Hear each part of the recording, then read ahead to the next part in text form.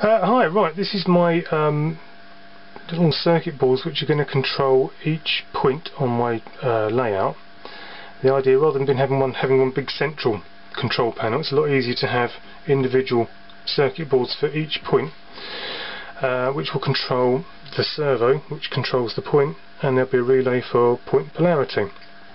What you actually have at the centre of each servo board is a PICAXE, which is a programmable integrated chip or microchip and power in and it's connected around a ring and it goes to another little chip over there. And um, this purple wire is a data bus between each chip. So basically the control panel will send data um, along the data bus and each one of these boards has an address on it. And this is servo 2, this is servo 1, that's servo 3 so it will, um, you can send out a string of instructions. Um, servo 2 will ignore all instructions unless it's addressed to servo 2. Um, now, to program it up, I made another little board up because I was thinking that basically these things are going to be stuck under a baseboard and it's going to be really hard to program one up. Um, if it's under the board and you need to be above it, so what I've done, I've made this little uh, plug-in thing here, plug-in circuit basically. So if you can imagine that's screwed to the underside of your baseboard. Um, so you can use this board on um, from above to, to program your servo. So we're going to program this servo up here um, and you press the button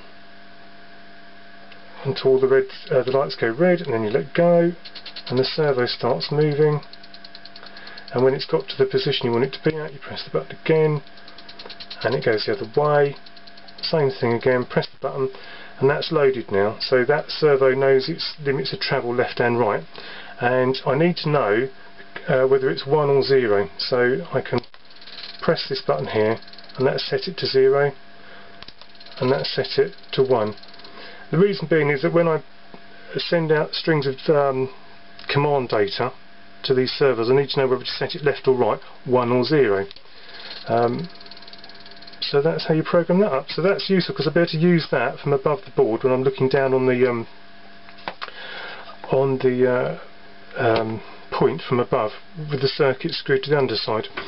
Now just to prove that it all kind of works, I made this up here as another little, it's just a little test chip really, um, and it's just sending out a sequence of data saying, see little red light is flashing, it's telling servo 1 to move, now servo 2 to move this way, servo 2 to move that way back, servo 3 move, and servo 3 move back.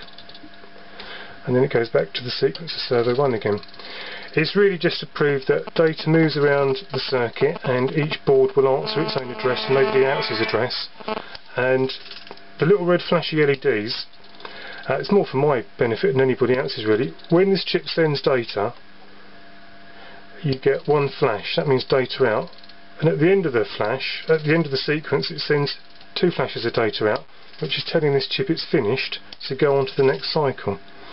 Um, so the idea being that um, eventually, when I have the control panel, I'll press the route, it will send data around to all the servos, switch all the points all the right way, and then the last point will send message back to the control panel saying, all set, ready to go.